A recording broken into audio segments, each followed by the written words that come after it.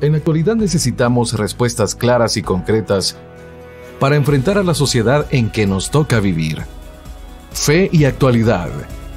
Respuestas bíblicas a los dilemas de hoy. Saludos queridos amigos, soy Gonzalo Chamorro, un placer en saludarles por medio de esta vía Fe y Actualidad, un espacio que pretende responder a las inquietudes y a los dilemas morales que nos plantea el escenario contemporáneo desde una perspectiva bíblica, teológica, científica e histórica, y en lo posible reunir las ciencias que hoy permean en la actualidad. Hoy nos convoca un temazo que ya habíamos iniciado con dos buenos amigos y tiene que ver con la crisis de fe en los hijos. Y en esta segunda parte estaremos enfocándonos mucho, no solo en recordar lo que vimos en la primera sección del programa sobre la temática de la duda o la temática de las crisis de fe, sino vamos a centrarnos mucho en la responsabilidad paterna y cuál es la labor de los padres. Y para eso me acompañan dos buenos amigos, como ya lo he expresado y me refiero a Edna y Jorge Ponce. Edna, gracias por estar junto con nosotros y qué bueno verles a través de este medio digital. Un gusto saludar a toda la teleaudiencia y gracias por invitarnos y ser partícipes de este tema. Jorge, qué bueno compartir nuevamente contigo. Gracias por estar aquí en Fe y Actualidad. Igual, de nuestra parte a ustedes y, y a la audiencia, de verdad, un placer estar aquí con el tema y con lo que propone Fe y Actualidad.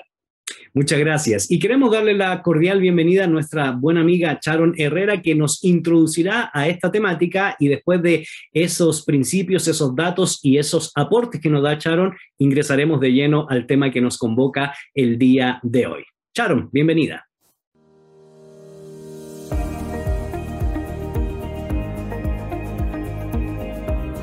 El tema del día. Tradicionalmente, la familia cristiana, la iglesia y la cultura cristianizada desempeñaban la misión de ayudar a tener fe en el Maestro, sobre todo mediante las familias cristianas comprometidas con la fe y con el desenvolvimiento de una conducta honrada y sincera, lo cual hacía que no solo los propios hijos siguieran su ejemplo, sino que también eran de inspiración para que otros abrazaran a Cristo. Esto nos hace preguntarnos qué ocurre cuando en una iglesia las familias cristianas dejan de ser capaces de educar cristianamente a sus hijos. Tal vez los hijos han sido bautizados, han participado en la escuela dominical, asistido a un colegio cristiano, pero a los 15 o 20 años dejan de participar de la comunidad de fe.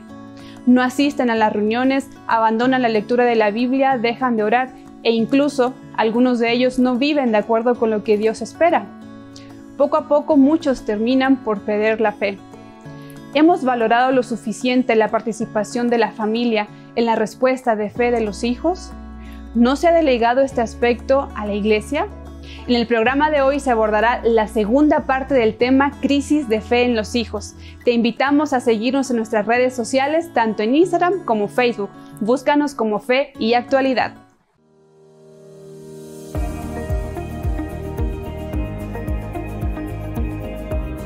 El tema del día.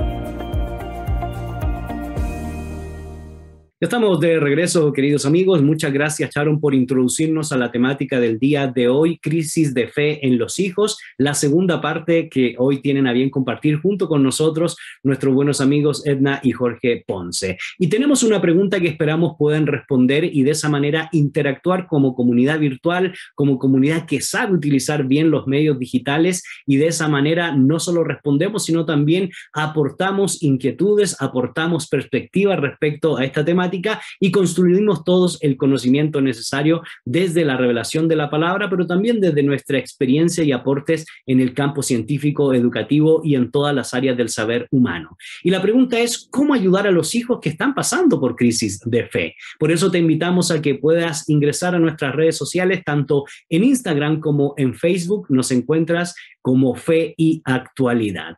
Es interesante, Edna, Jorge, porque el, primer programa nosotros comenzamos a trabajar la temática de la crisis de la fe y en primer lugar lo que hicimos es un breve recorrido, un breve itinerario ante las circunstancias en las cuales nos encontramos. Eh, partimos de lo general y esperamos recaer en lo particular, es decir, hablamos de las tendencias racionalistas, la secularización, el posmodernismo, la deconstrucción de todos los valores morales a los cuales nos enfrentamos y esas circunstancias, Edna, indudablemente nos eh, cambian la perspectiva entonces de cómo nosotros tenemos que educar. Y no estamos hablando de cambiar el fundamento, sino tomar en cuenta nuevas formas para entender cómo nuestros jóvenes se enfrentan a esta, este mundo de la revolución eh, tecnológica, científica, y, conversábamos en otras ocasiones porque cada vez más las nuevas generaciones son adictos, es decir, adictos a las apps y a toda esta tecnología digital. Por lo tanto, Edna, la dinámica que nos plantea el escenario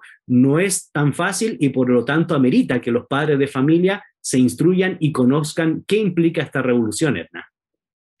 Sí, definitivamente vivimos en una sociedad muy, muy amplia en el sentido general, pero también en el sentido tecnológico. Eh, nuestros hijos no nos damos cuenta en qué momentos manejan mejor que nosotros todo lo que representa la tecnología y definitivamente esto tiene un efecto muy grande en la vida, no solamente de los hijos, sino aún también de los padres, ¿verdad? Porque eh, realmente eh, unos somos ejemplos de otros y nuestros hijos a veces nos están viendo a nosotros usando la, tecnología de una manera tan, tan profunda o con tanto tiempo que ellos se vuelven también adictos y ya no solamente los padres, ¿verdad? A la, al manejo de tecnología. Y esto trae consecuencias muy eh, amplias en el sentido de la dependencia eh, de las tecnologías eh, para nuestra vida. Lo vemos en el día a día, ¿verdad? ¿Cuántas veces nosotros eh, ocupamos, mucha, en términos generales, nuestros, nuestros celulares? Ya no nos movemos, ya no vivimos sin ellos. Si no es, que suenan, si es que no nos llevan a algún lugar, si no es que encontramos la información precisa, dependemos tanto de esto que definitivamente dejamos en desuso y, es interesante, Edna, perdona que te interrumpa, porque estudios han sacado de que hoy las nuevas generaciones de adolescentes jóvenes, eh, inclusive algunos millennials, dicen que definen su identidad, y lo decíamos en programas anteriores, por dos cosas, por el nombre y por el celular, ¿verdad? Entonces, e, e, es, increíble cómo la temática ha, ido cambiando, Edna, y, eso, es, eso es interesante porque si nosotros no lo tomamos en cuenta, vamos a quedar en cierto sentido eh, rezagado, Edna. Sí, definitivamente. A veces los hijos se ríen de que nosotros no podemos ni bajar una app, que no sabemos ni buscar un lugar de donde me puedan traer comida. ¿Verdad? Y es como que ya nosotros vamos cayendo en un desuso por el, la falta de conocimiento eh, que ellos tienen. Entonces, eh, sí es importante que como padres estemos muy al tanto de lo que nuestros hijos están viendo, de lo que nuestros hijos están eh, indagando, ¿verdad? En, en, lo que es todo, todo lo que es redes sociales, internet.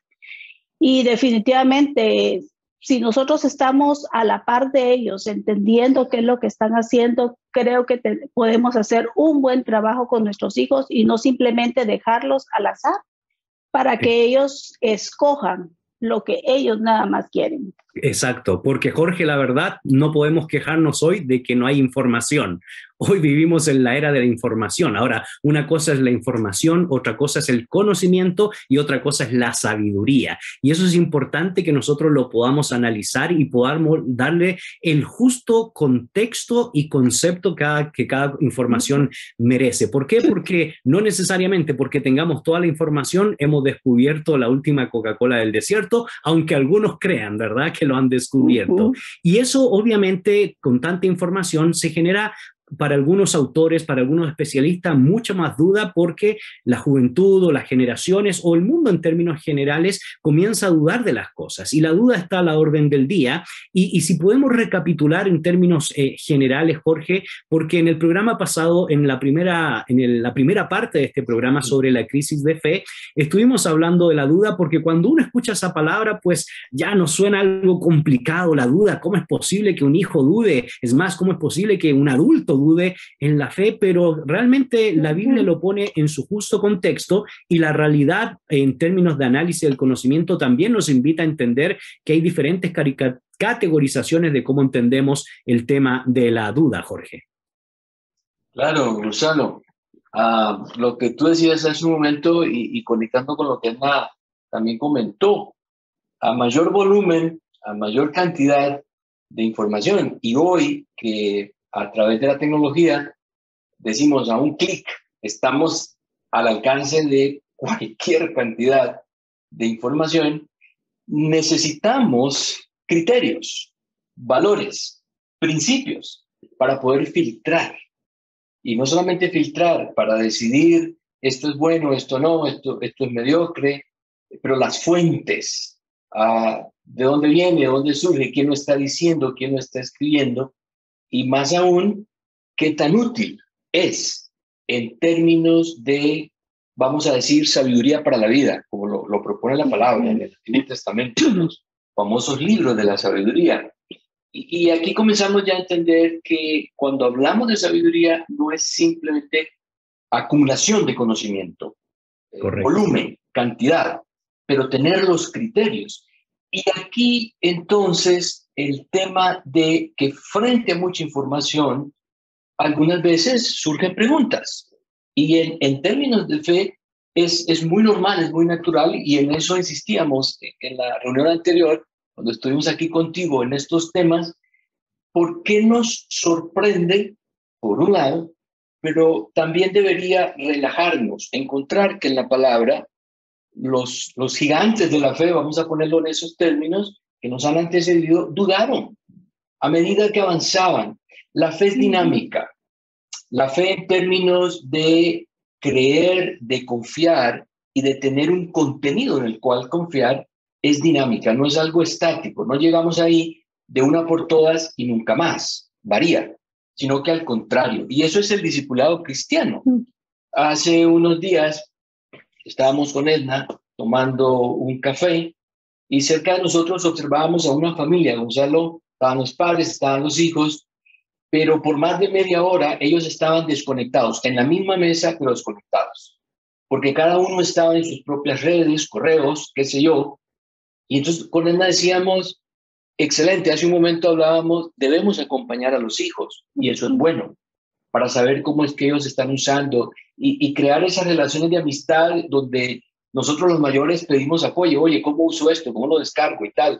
Y que los hijos también sientan esa confianza de reírse junto a nosotros.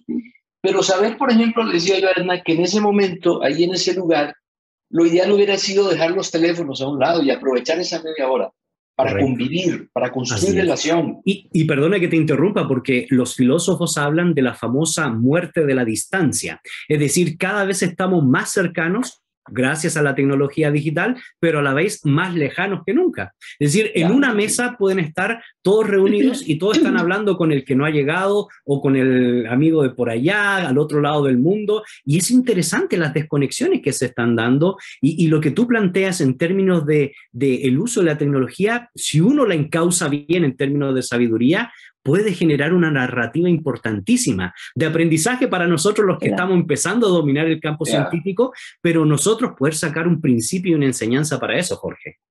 Clarísimo. Yo creo que podemos parafrasear un poco un, concepto con el que estamos familiarizados del apóstol Pablo. Era, el, amor al dinero es raíz de todos los males. Y ya discernimos que de la perspectiva de Pablo, el problema no es en sí mismo el dinero, ahora diríamos la tecnología en sí misma. Es la adicción en la que podemos caer, adultos y menores. Y yo diría de todas las edades, es algo que hemos comentado con Enda muchas veces. Y, no darnos cuenta, Gonzalo, porque no hay filtros, porque no hay principios y valores que nos ayuden a discernir. Este no es el momento para chequear mi correo o hacer una transferencia, un pago, porque en este momento estamos conviviendo como familia. O si ustedes quieren, en este momento, ahora en tiempos de pandemia, nos vamos a conectar para tener estudio bíblico con la gente de la iglesia, por ejemplo. Hay otro momento en el que sí puedo tomar mi tiempo para hacer mis, mis cositas, donde dedico el tiempo. Es cuestión de precisamente primero establecer los cimientos y esa es tarea de nosotros los padres para ir formando e ir acompañando todos estos procesos de acceso a mucha información, pero información que tenemos que aprender a organizar para distinguir lo bueno de lo malo, o aquello que simplemente no es malo, pero es trivial, superficial, no tiene profundidad. Y ahí es donde nosotros ya entramos en, en, en seriedad en cómo acompañar a nuestros hijos en, en sus diferentes etapas en estos procesos donde ellos también se hacen preguntas. Y, eso es lo que, así es, y eso es lo que estaremos conversando porque eh, obviamente nuestra crítica eh, inicial muy común es atacar en primera instancia a la juventud y a los hijos, porque ¿cómo es posible, verdad, que, que, se hace, que crean tan fácilmente los medios digitales? Bueno, es que también nosotros en nuestras épocas y bajo nuestros contextos también éramos presa de otras realidades. ir al cine, el cajón del diablo, de la televisión y anteriormente ir a jugar fútbol, qué sé yo, y todas esas dinámicas que, que enfrentamos en determinado contexto y siempre hubo esa posibilidad, ¿verdad?, de, de generar un diálogo sabio para poder encauzar las dudas. Y, y, yo quisiera que en la siguiente sección del programa pudiéramos centrarnos mucho en la responsabilidad de los padres, más que en este contexto analizar a los hijos, porque yo creo que es, importante. Sin embargo, eh, Jorge y Edna también les lanzo la pregunta para que la vayan pensando, porque tú, Jorge, y Edna habían planteado en el programa anterior eh, una respuesta a la pregunta, ¿puede la duda minar la fe? Y creo que vale la pena recordar quienes representan o dependen del tipo de duda que se esté desarrollando. Queridos amigos, estoy en una agradable conversación con dos buenos amigos, Edna Jorge Ponce, y estamos trabajando el tema crisis de fe en los hijos. En esta segunda parte nos queremos enfocar mucho en la formación que debemos tener nosotros los padres para poder instruir a nuestros hijos. Y por eso te invitamos a que puedas contestar la pregunta del día, ¿cómo ayudar a los hijos que están pasando o que pasan por crisis de fe? Las vías de comunicación, no te olvides, Instagram, y Facebook. Nos encuentras como Fe y Actualidad. Haremos una breve pausa y ya regresamos aquí en su programa. No se desconecte.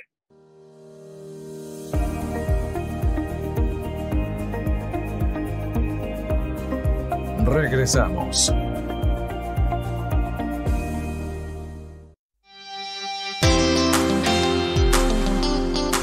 Un año más de adoración Predicamos la verdad.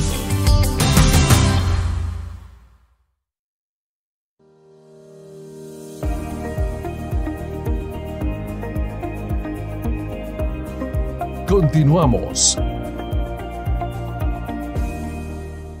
Ya estamos de regreso, queridos amigos. Soy Gonzalo Chamorro y como les dije antes de hacer esta pausa, me encuentro en una excelente y agradable conversación junto con Edna y Jorge Ponce. Y estamos eh, reflexionando sobre el tema crisis de fe en los hijos. Y te invitamos nuevamente a que seas parte de nuestra comunidad virtual respondiendo a la pregunta del día, ¿cómo ayudar a los hijos que pasan por crisis de fe? No te olvides, tanto en Instagram como en Facebook nos encuentras como fe y actualidad. Por supuesto, Edna nos toca hablar acerca de la responsabilidad de los padres en los procesos de ser preventivo, de formarnos, pero también de identificar cuáles son nuestros tipos de personalidades a la hora de entender nuestra paternidad, porque queremos educar a nuestros hijos y a veces nosotros como padres de familia ni siquiera estamos eh, capacitados para definirnos como, como padres, y eso es importante. Pero antes eh, me gustaría escuchar algún comentario breve tuyo, Edna, como también tuyo, Jorge, porque una de las cosas que planteamos en el programa anterior es que en primera instancia, y lo volviste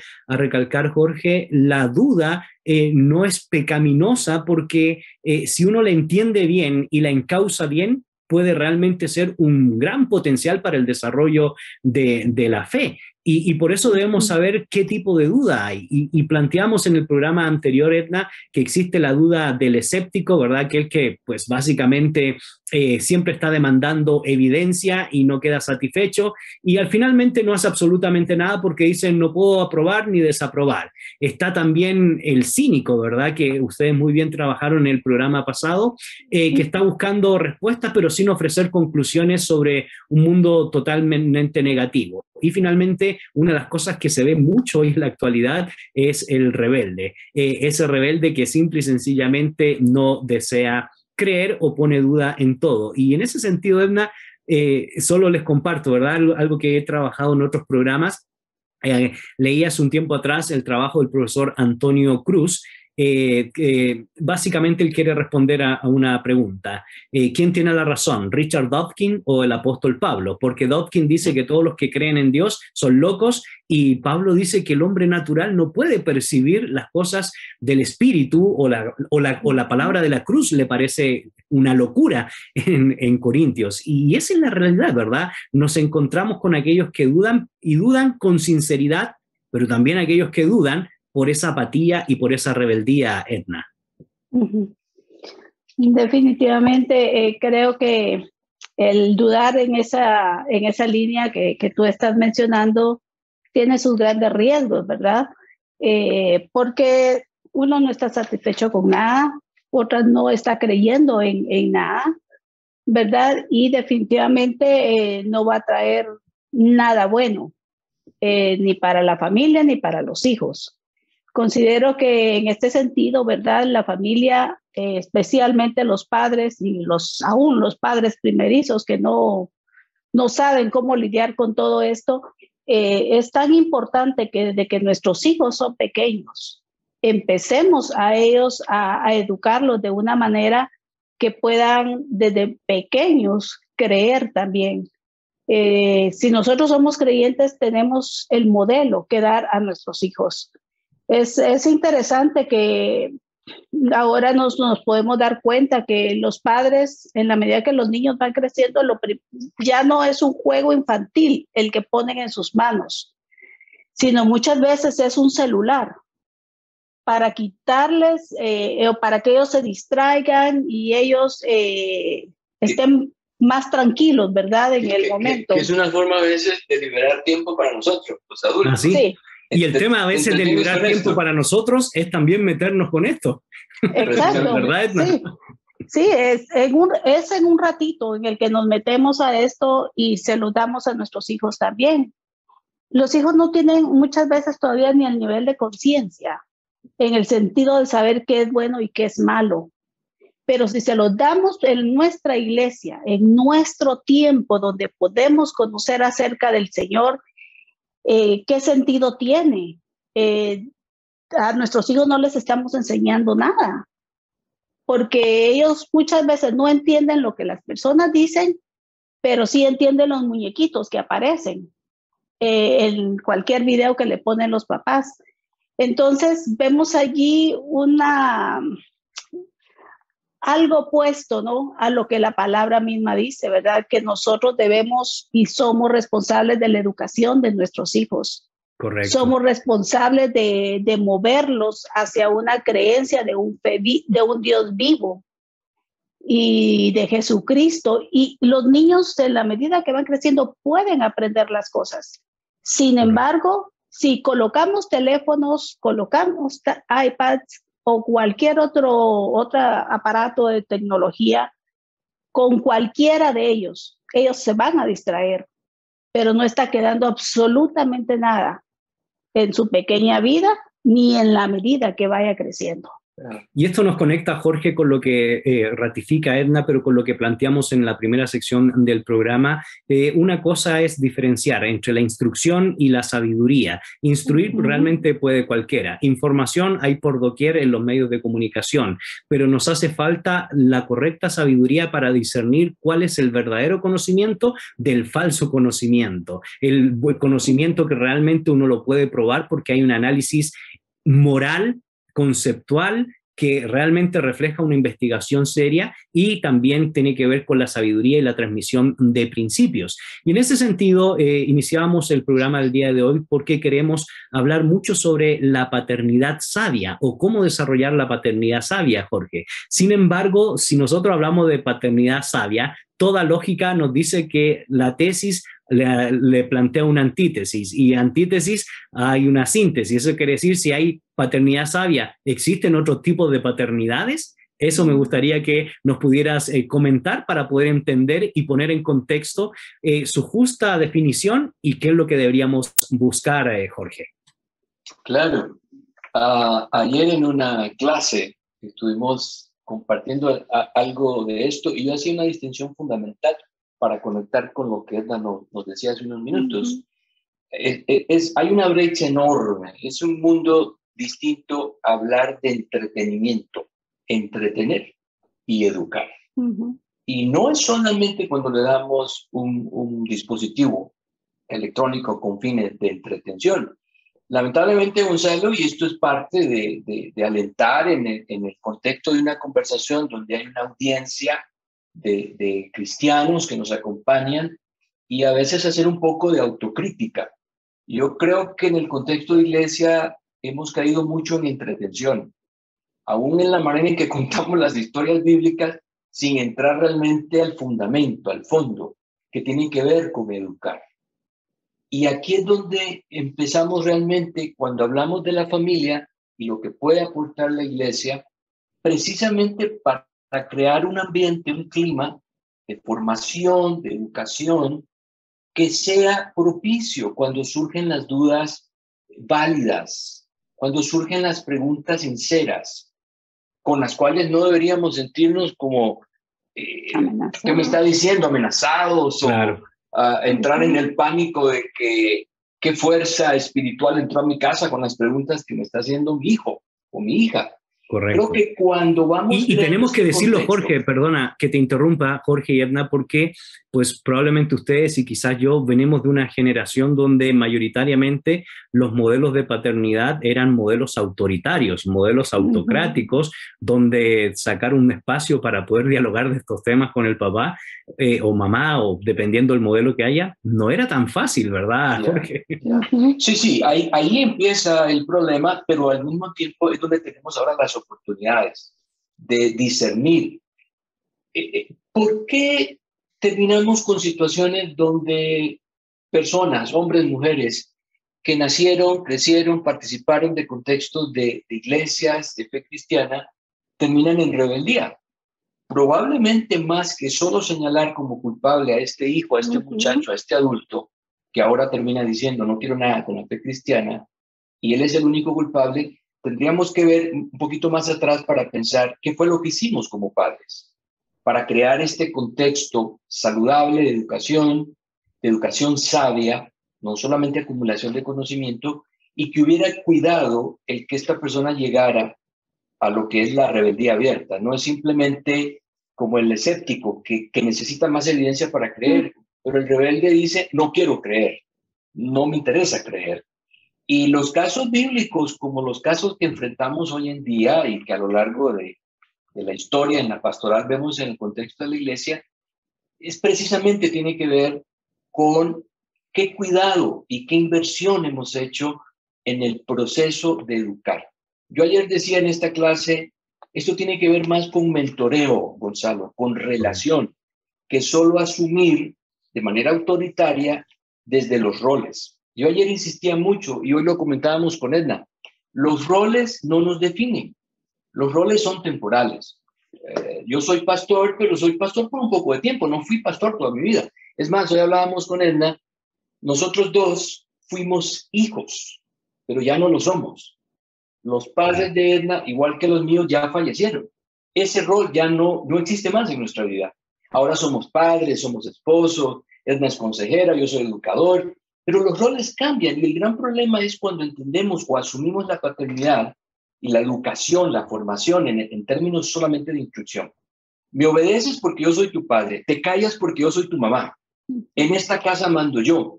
Y esto solo genera autoritarismo. Y el autoritarismo, lo dice el apóstol Pablo, cuando nos manda a no exasperar, Y no exasperar tiene que ver con crear condiciones que finalmente terminan en rebeldía, Gonzalo. Y, y, por otro lado, la antípoda de ese autoritarismo, y tú ya lo habías mencionado, Edna, es eh, la paternidad permisiva.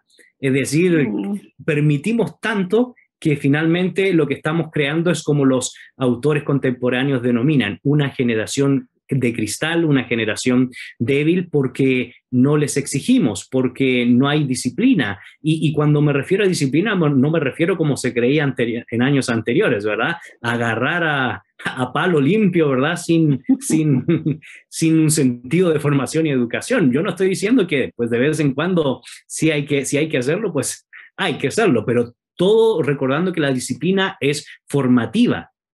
Si no tiene ese sentido, es violencia. Entonces, la, la antípoda de ese autoritarismo es paternidad permisiva. Definitivamente, cuando los padres son permisivos, dan todo lo que los hijos quieren. No hay límites.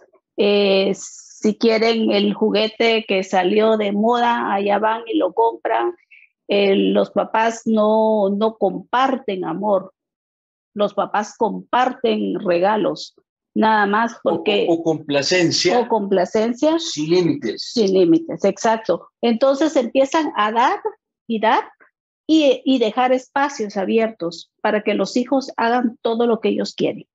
Y eso se suma, Edna, perdón, eso se le suma el gran aumento de divorcios. Y cuando existe esta realidad, obviamente la forma en cómo se ha entendido la entrega de amor es, bueno, aquí está el dinero, aquí está el regalo o aquí está el pago y le pagamos a 50 entidades para que supuestamente nos eduquen a los hijos cuando esa responsabilidad es nuestra, Edna. Sí, definitivo. Y, y muchas veces los padres ya cuando los hijos empiezan a crecer, se lamentan de que no pudieron hacer nada por sus hijos.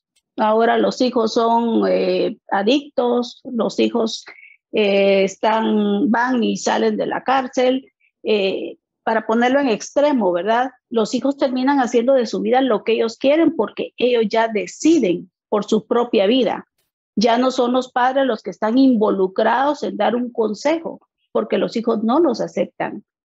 Entonces, esa permisividad que, que, dejamos a veces los padres abierta para con los hijos, en ningún momento les va a educar, ni les va a... E, e, estamos generando una, una generación improductiva, Gonzalo, en, Todos, en todos los sentidos.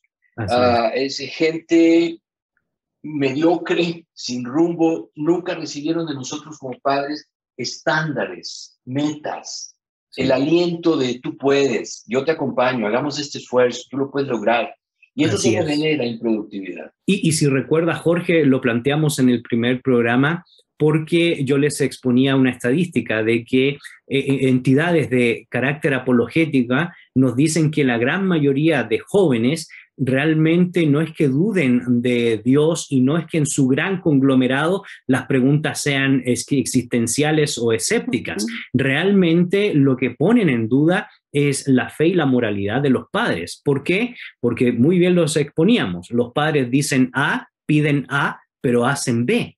Y esa dinámica en algún momento de la adolescencia y de la juventud eh, se dan cuenta que no, no cuadra, no, en, el, en la lógica, en la fórmula, no, no cuadra. Y eso es lo que estamos eh, viviendo, Jorge. Y, y, brevemente, eso genera, tenemos unos dos minutos para eso, pero eso ha generado lo que tú has denominado en tu propio trabajo, esa paternidad negligente. Eh, padres fríos y padres complacientes, como muy bien decía Edna, que llegan un momento que se lamentan cuando ya no pueden hacer nada, lamentablemente, por sus hijos, Jorge.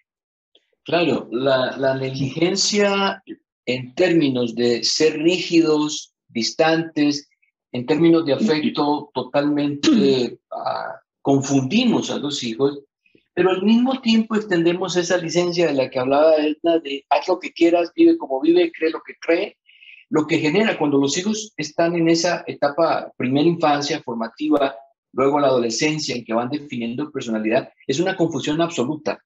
O sea, no tengo afecto, no tengo cariño, no tengo afirmación, y por otro lado, a mi papá le da igual que yo sea un buen alumno o un mediocre, o uno malo. A mi papá le da igual que yo sea honrado o que mienta. Entonces, estamos generando una negligencia absoluta. total. Y esto al final le hace daño a la familia, a la siguiente generación, a la iglesia, a la sociedad. O sea, es de, grandísimo impacto ser negligentes. Correcto. Ahora, lo único bueno de todo esto, y especialmente de este programa y de los diferentes ministerios que, desarrollamos, y, estaremos hablando un poco de esto en la próxima sección del programa, es que no todo está perdido. Si algo podemos distinguir del cristianismo es la esperanza y la posibilidad de arrepentirnos y reconocer las cosas que hemos hecho mal y ser restaurados en nuestra mente, en nuestro corazón, en nuestro espíritu, en la manera en cómo podemos ver las cosas, eh, Jorge, Edna, y de eso estaremos hablando en el último segmento, cómo generar entonces una paternidad sabia o una paternidad que se instruye en el fundamento de la sabiduría que es la palabra de Dios. Así que queridos amigos, no se olviden de seguir compartiendo la respuesta a la pregunta del día, ¿cómo ayudar a los hijos que pasan por crisis de fe? Te recordamos las vías de comunicación en Instagram y en Facebook nos encuentras como Fe y Actualidad y estaremos muy agradecidos que no solo compartas este material, no solo le invites a todos tus amigos a que puedan sintonizar eh, el programa de fe y actualidad, sino también a que puedas aportar tus ideas, tus conceptos y nosotros valoramos muchísimo las preguntas porque a, nosotros eh, a la hora de leer esas preguntas nos ayuda también a seguir generando más contenido, más temas que pretenden indudablemente ayudarles, bendecirles, y no porque seamos ejemplos de pulcritud, sino porque hemos ido aprendiendo en el proceso, reconociendo nuestros errores, pero también buscando la sabiduría divina. Haremos una breve pausa, no te desconectes de esta agradable conversación junto con Edna y Jorge de Ponce aquí en Fe y Actualidad. Regresamos.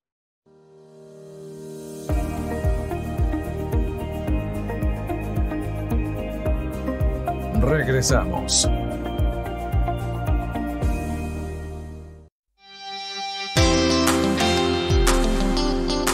Un año más de adoración. Canal 27. Predicamos la verdad.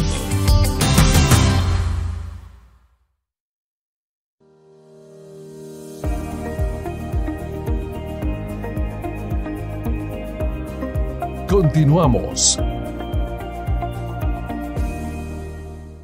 Ya estamos de regreso, queridos amigos. Soy Gonzalo Chamorro y como he mencionado en las tres pausas que hemos tenido en este programa, me encuentro en una agradable conversación junto con Edna y Jorge Ponce y estamos reflexionando acerca de la crisis de fe en los hijos. Es la segunda parte del programa. Le invitamos a que pueda ingresar a nuestras redes sociales. Si usted no pudo ver el primer programa, la primera parte de esta reflexión, pueda, por supuesto, ingresar a las redes y ahí está todo el material en audio y en video. Y es interesante porque lo que quisimos hacer con esta segunda tanda, con este segundo programa, no fue tanto hacer una crítica hacia la juventud, hacia los adolescentes, sino más bien empezar por la base. Eh, no sacamos nada con lamentarnos por las circunstancias que están viviendo nuestros hijos, sino vemos nuestro corazón y no vemos primero eh, la paja que hay en nuestros ojos, Edna y Jorge, y sobre esa premisa entonces ya podemos analizar las otras realidades. Y, lo digo porque esto es el común denominador. Nuestra tendencia es a juzgar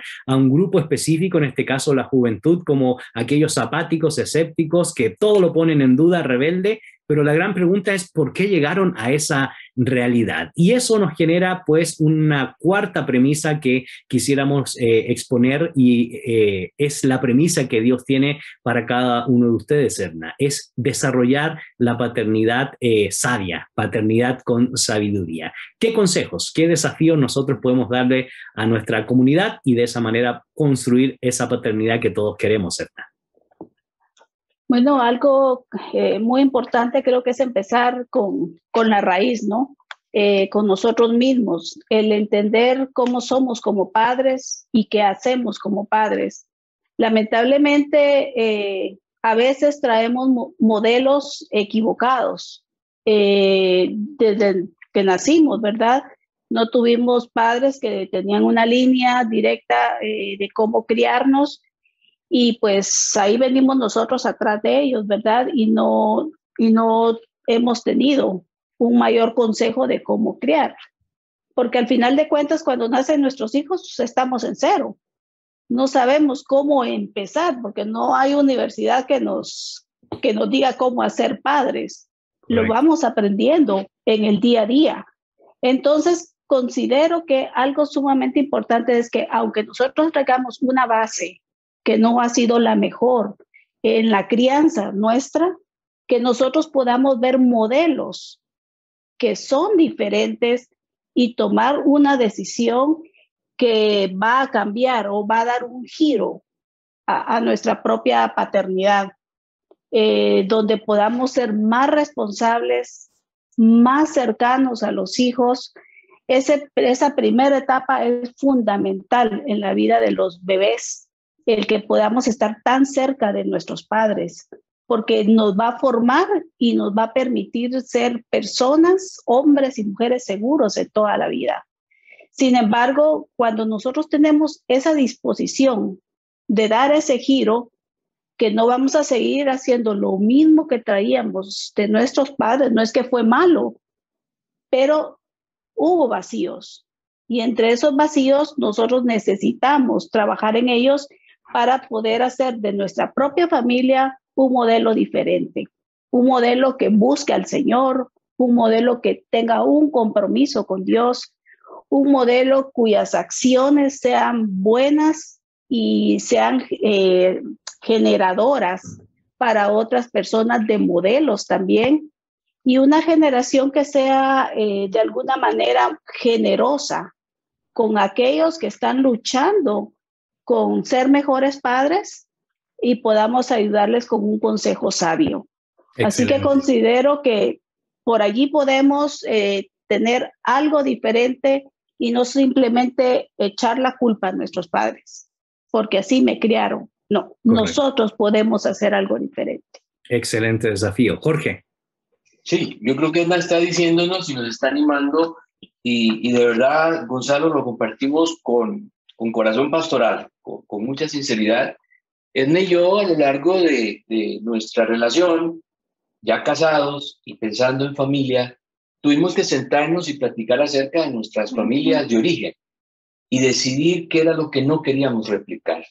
Yo creo que la paternidad ya empieza con ese diálogo de pareja y a quienes nos están acompañando y que están en este proceso, tú lo decías hace un rato, siempre hay esperanza. No, no hablamos solo a los que empiezan, a los que a lo mejor ya hemos andado años en esto. Siempre está el momento oportuno para decir, no podemos seguir iguales repitiendo lo mismo que generaciones anteriores han hecho, con modelos, volvemos a lo de autoritario, negligentes, permisivos. Tenemos que cambiar eso. Y cuando hablamos de paternidad sabia, es disponernos a ser cariñosos, amorosos, afectivos, crear ese mejor entorno que, que provee el, el, apego seguro y que hace que nuestros hijos crezcan, crezcan con un sentido apropiado de autonomía, de independencia, que le, da la posibilidad de avanzar en la vida hacia la madurez. Pero acompañar eso con lo que decíamos hace unos minutos también, de ser padres exigentes. Y, y aquí exigencia y cariño, afectividad en plena integración. No estoy hablando de balance, Gonzalo. Correcto. No estamos proponiendo balance. El 50% de ser exigentes, productivos, animar a los hijos a ir por más y por otro lado 50% de cariño. Estamos hablando de 100% o 120% de ánimo. Vamos, podemos hacerlo mejor. El próximo año vamos a lograr más. Animar a los hijos a ir por más, metas de desempeño, pero siempre afirmados por el cariño. Si no lo podemos lograr, te quiero igual. Si no se pudo alcanzar la meta en, en el primer momento que habíamos previsto, te quiero igual. Eso no cambia nada. Sigue siendo el hijo, yo sigo siendo el padre, la madre que te quiere igual. Cuando logramos eso, creo que estamos realmente poniendo los cimientos ya Excelentes desafíos y, y, luego quisiera terminar recomendando a toda nuestra comunidad, a toda nuestra audiencia, dos fuentes para que ustedes puedan encontrar material tanto para padres como adolescentes jóvenes. Y me refiero a simple y sencillamente visite la página del Instituto Crux, ahí usted podrá encontrar blogs, podcasts que responden a las crisis de fe, al retorno de la fe, a cómo dialogar desde la perspectiva de las preguntas existenciales, porque van a ver eh, chicos que son muy muy racionalistas e indudablemente eh, están buscando respuestas y respuestas concienzudas en diálogo con la palabra y por supuesto con las ciencias contemporáneas y con buenos análisis que nos permiten entender la realidad de hoy. Y no solo eso, sino también para generar una cultura auténticamente cristiana. ¿Cuándo nos robaron el arco iris? ¿Cuándo nos robaron las expresiones que han definido Occidente que son eminentemente cristianas? Es cuando nosotros dejamos de cultivar nuestra fe y dejamos de producir, crear y promover cultura. Pero también hay un ministerio, Jorge, que el Señor les ha permitido dirigir, Visión para Vivir, que tiene material que puede ayudar a jóvenes y padres de familia. Cuéntanos un poco, nos quedan dos minutos para eso. Eh, ¿Qué es lo que está trabajando Visión para Vivir? Contactos, páginas y redes que pueden indudablemente apoyar a toda nuestra comunidad que está buscando conocimiento y conocimiento con esperanza. Claro que sí, Gonzalo. Nuestra página, visiónparavivir.org, igual, muchísimos recursos, algunos gratuitos, otros que ustedes pueden comprar, o las series que tenemos en radio y en, en otros formatos, también en Facebook nuestro programa de consejería para acompañar a padres que están lidiando con este interés de hacer una mejor educación y formación con los hijos. Y bueno, estamos igual que Instituto Cruz, por la familia, para la familia y para nosotros servirles a través de Gracia Bookshop, nuestra librería, con muchísimos recursos también. Será un gusto. Estamos para servir a la iglesia, Gonzalo. Excelente. Y también en Instagram, ¿verdad? Para ponernos más modernos. Así es. Así, es. Realmente ha sido un placer compartir con ustedes. Por supuesto, Edna, Jorge, no podemos agotar el tema en tan poco tiempo, pero por lo menos deseamos que la gente que eh, está viéndonos, que nos está escuchando, eh, puedan animarse. Hay esperanza y siempre debemos poner nuestra mirada en el autor y consumador de la fe. Somos nueva creación, somos nueva criatura y cuando vivimos bajo los pies del Señor, Edna, siempre hay esperanza. Muchas gracias, Edna, por compartir con nosotros. Con mucho gusto. Jorge, muchas gracias siempre compartir con nosotros un aquí placer, en Un placer, gracias por invitarnos, Gonzalo. Y ustedes, queridos amigos, no se desconecten de todo el material que ustedes pueden encontrar en las páginas que hemos mencionado el día de hoy, las cuales aparecerán aquí en los cintillos que nuestros buenos amigos de producción nos comparten. Y también le quiero invitar a que siga a nuestras redes sociales, Fe y Actualidad en Instagram, como también en Facebook. Eh, tenemos, no te desconecte porque tenemos una reflexión especialmente preparada para ustedes y esperamos que sea de mucha bendición. Nos encontramos en una próxima oportunidad. Este ha sido su programa Fe y Actualidad.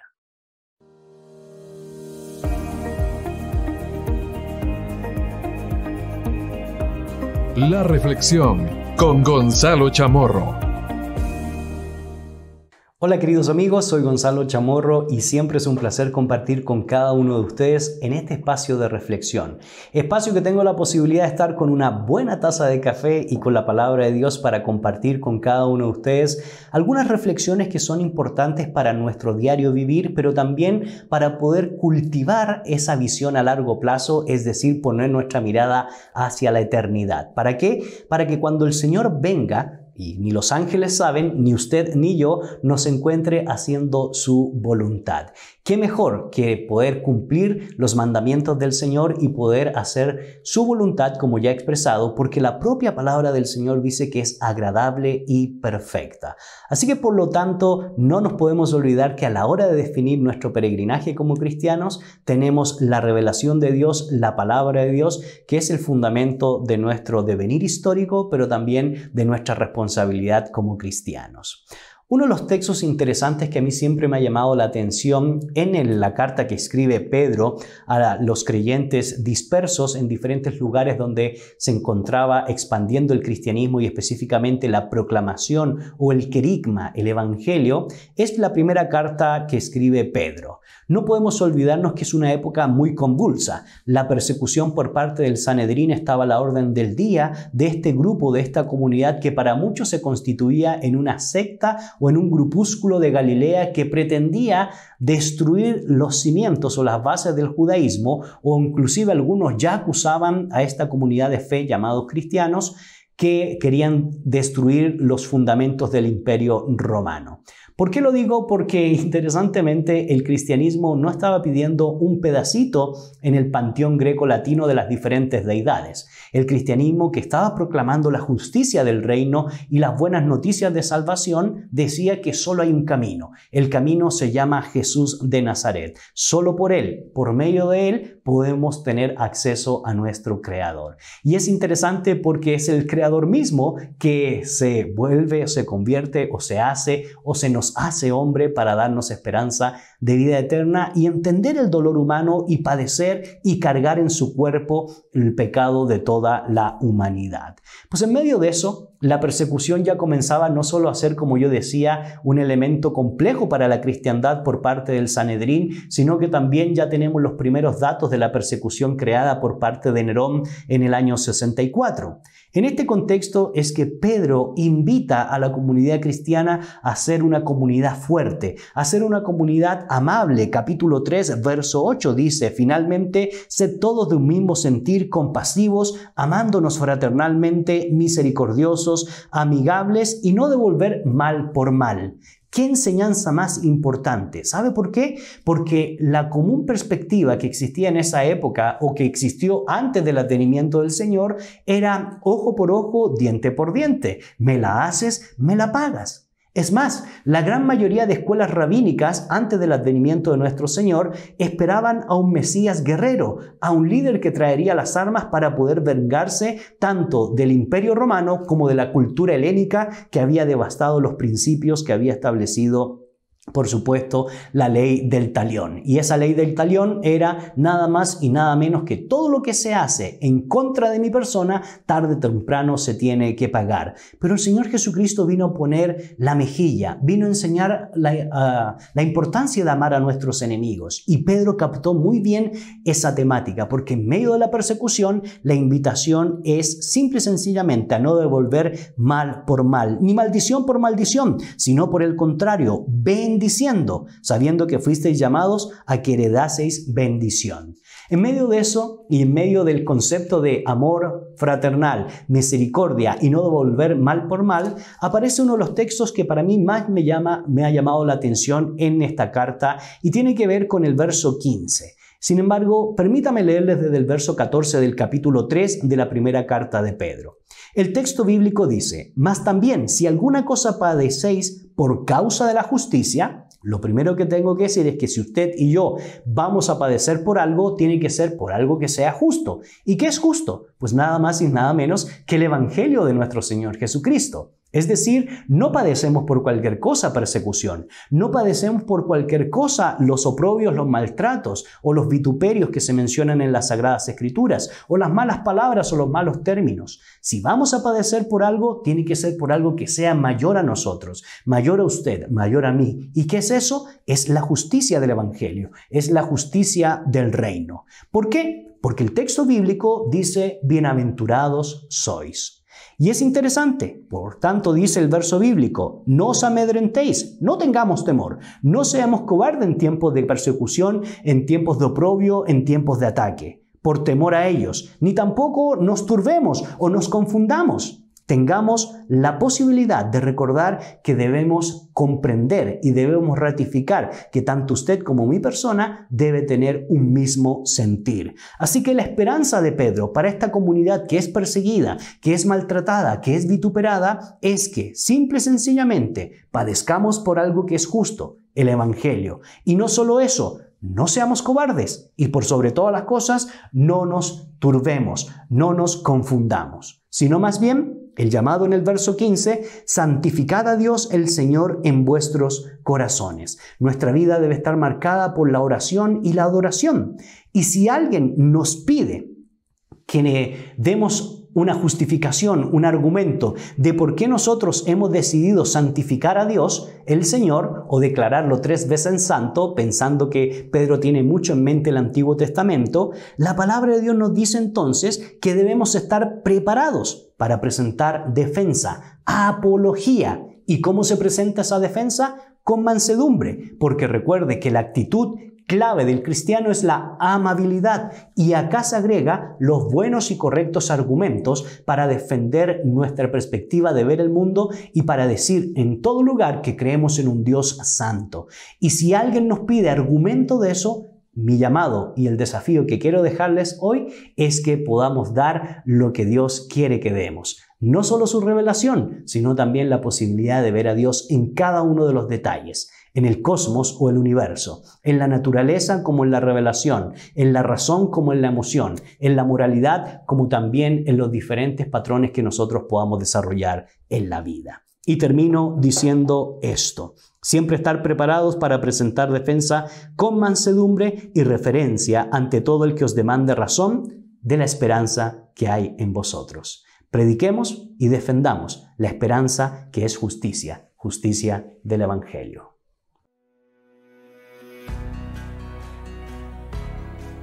En la actualidad necesitamos respuestas claras y concretas para enfrentar a la sociedad en que nos toca vivir.